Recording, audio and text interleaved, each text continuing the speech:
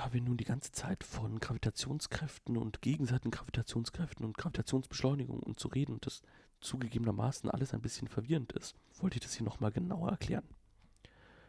Wir schauen uns immer zwei Objekte an und die behandeln wir erstmal gleich. Also uns ist erstmal wurscht, was schwerer und was leichter ist, weil beide ziehen sich ja immer gegenseitig an. Das heißt, wenn ich jetzt hier ein etwas schweres Objekt habe und hier ein etwas leichteres Objekt, kann ich entweder sagen, das schwere Objekt ist das Zentralgestirn, also das heißt, ich tue so, als würde das stehen und sich das andere auf mich zubewegen, aber ich kann auch sagen, das leichtere Objekt ist das Zentralgestirn. Das heißt, ich stelle mir vor, dass das schwerere von dem leichteren jetzt angezogen wird. Das ist wirklich beides eine gute Sicht, also eine mögliche Sicht der Dinge. So, und jetzt fangen wir mal an, dass wir uns die Gravitationskraft, die gegenseitige anschauen. Wir wissen, die Gravitationskraft berechnen wir durch Fg ist gleich G mal M1 M2 durch R Quadrat. Und wir sagen, das hier ist mein M1 und das hier ist mein M2. Ja, und jetzt sehen wir eine Sache sofort. Es ist ja völlig wurscht, ob ich schreibe, Fg ist G mal M1 mal M2 durch R2 Quadrat oder wenn ich die Sicht andersrum machen würde und sagen würde, meine kleine Masse ist mein Zentralgeschwirn, ob ich dann sage, das ist G mal M2 mal M1 durch R Quadrat. Das ergibt genau dasselbe. Und das ist auch so eine wichtige Sache. Das heißt, M2 zieht an M1 genauso stark wie M1 an M2 zieht. Und jetzt ist natürlich die Frage, naja, wenn ich auf der Erde stehe, heißt es, dass ich, oder wenn ich hüpfe und dann der Erde entgegenfalle, fällt dann die Erde auch mir entgegen, weil ich ziehe ja auch an ihr gravitativ. Und die Antwort ist ja, sie fällt mir entgegen. Aber jetzt kommen wir zum nächsten Punkt. Sie fällt mir entgegen und wird sogar genauso stark von mir angezogen, wie ich sie anziehe, aber die ist ja viel schwerer als ich. Das heißt, wenn ich mit der so stark ziehe, wie sie an mir zieht, dann schaffe ich es, die kaum zu bewegen. Und das ist genau der Punkt. Das heißt, die Kraft ist zwar gleich, aber die Beschleunigung ist nicht gleich. Und das erkennen wir ganz einfach dadurch, dass ich ja die Beschleunigung allgemein berechnen kann durch A ist F durch M, also Kraft durch Masse. Und als Masse muss ich natürlich immer meine eigene Masse nehmen. Das bedeutet, die Beschleunigung hier zum zweiten Objekt ist einfach F durch M2. Da teile ich durch eine kleine Masse. Also ist es A relativ groß. Hier unten muss ich dann aber durch eine große Masse teilen. Und das bedeutet, das A, das rauskommt, ist ziemlich klein.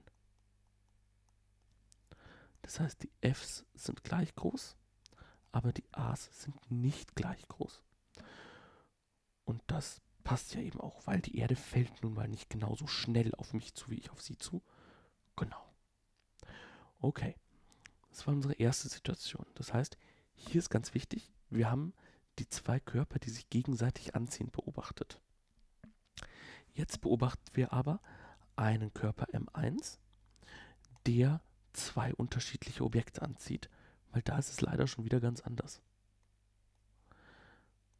So, wir haben jetzt also ein M3 gefunden. Das M3 hat so eine mittelschwere Masse. Und jetzt stelle ich mir wieder dieselben Fragen. Ich frage mich wieder, werden denn M2 und M3 gleich stark angezogen von unserer Masse M1? So, und jetzt müssen wir uns überlegen, welche Massen wir einsetzen müssen das Fg bezieht sich immer auf die Gravitationskraft zwischen den Körpern. Das heißt, ich koppel die quasi immer. Und wenn ich jetzt das Fg, das zwischen M1 und M2 wirkt, berechnen möchte, muss ich auch M1 und M2 hier einsetzen. So, und das passt auch wunderbar, ähm, weil hier steht ja schon M1 und M2 drin. Möchte ich jetzt aber diese zweite Kraft hier dazwischen wissen, muss ich natürlich jetzt das Wechselspiel zwischen M1 und M3 beachten. Also setze ich auch M3 ein.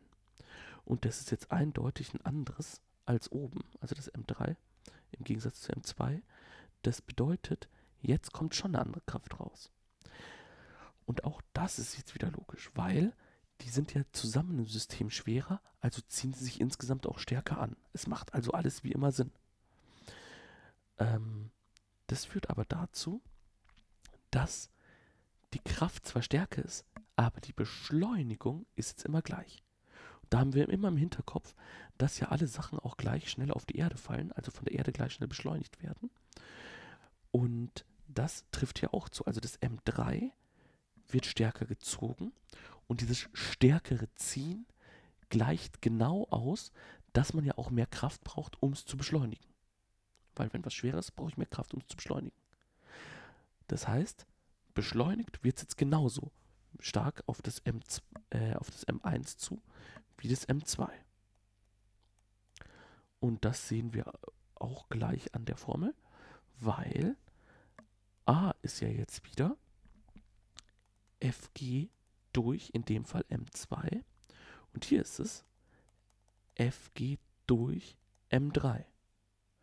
So, Fg ist aber, jetzt führe ich sogar einmal aus, einfach M1, M2 durch R Quadrat und das alles durch M2.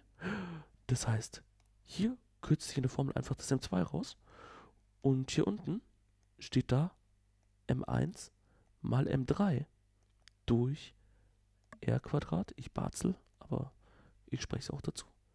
Durch M3 und zack, jetzt kürzt sich das M3 raus. Ja, ein Träumchen. Das bedeutet, es bleibt jedes Mal dasselbe stehen, nämlich einfach nur m1 durch r Quadrat. Und das heißt auch, die Formel verrät uns, dass es wirklich wurscht ist. Also, dass egal wie schwer man ist, man wird immer gleich schnell hin beschleunigt. Gut. Aber, dass eben die Beschleunigung gleich ist, benötigen wir unterschiedliche Kräfte. Bei der kleinen Masse eine kleine Kraft und bei der großen Masse eine große Kraft. Genau, das heißt, ihr müsst bei der Beantwortung solcher Fragen immer euch eigentlich dieses Bild mit den drei Massen im Kopf vorstellen und dann überlegen, spreche ich jetzt gerade von M1 und M2, die ich vergleichen möchte, oder spreche ich von einem M1, das zwei unterschiedliche Ms, also hier das M2 und das M3 anzieht, weil demnach sind die Zusammenhänge immer anders. Dass ihr das selbst auch nochmal veranschaulichen könnt und dass ihr selbst nochmal so ein bisschen mit den Größen rumspielen könnt, habe ich hier noch diese kleine App dabei, die ihr ausprobieren könnt. Wir haben zwei Massen, und ihr könnt die Gravitation und die Beschleunigung beider Massen sichtbar machen und schauen, wie sich die verändern. Und jetzt machen wir mal nur die Kraft an. Wenn wir es bewegen, sehen wir, dass auch der Radius berücksichtigt wird, dass also die Kraft größer wird, je näher sie sich kommen. Und schauen wir uns zum Beispiel jetzt mit der Gravitationskraft eben an. Gerade sind die Massen ungefähr gleich groß, also wäre es ja klar, dass die Pfeile gleich groß sind, die Vektoren. Aber selbst wenn ich die Masse 2 viel kleiner mache, sehen wir, dass dennoch beide sich gegenseitig gleich stark anziehen. Das heißt, der Teil wäre schon mal erledigt. Wir sehen jetzt aber auch, zack, dass die Gravitationsbeschleunigung eben ganz anders ist, weil das, die zweite Masse ist eben viel kleiner und ja, da die Kraft gleich war, ist also die Beschleunigung auf sie viel größer. Jetzt will ich aber nicht nochmal ins Detail gehen. Wie gesagt, ihr könnt jetzt rumspielen und zum Beispiel die erste Masse dafür auch kleiner machen. Und dann seht ihr, ah, jetzt zieht ihr die andere viel schwächer an. Also die Beschleunigung wird viel geringer, so dass wenn sie dieselbe Masse haben, sie sich auch wieder gleich, an, äh, gleich stark beschleunigen und so weiter. Also einfach ein bisschen ausprobieren. Viel Spaß dabei und tschüss.